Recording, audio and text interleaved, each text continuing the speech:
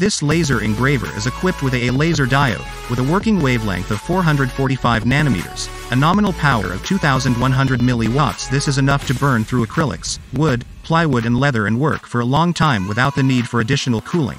Proper ray focusing provided an optimal spot size or not point to 5 millimeters. Initial software installation and laser configuration won't take you more than an hour, and after that switching between printing and cutting or engraving won't take more than a minute. The device doesn't consume a lot of power and thus doesn't need a separate power source. It can be connected to the power units. Endurance now is exploring new optics opportunities, fiber coupling, and laser beam combining. Endurance 3D printer is a good helper for professional artists, as well as anyone who wants to decorate their laptop with a logo, add an original final touch to a work sample or make an embossed design, and being able to work with leather makes the scope of your creative possibilities even wider.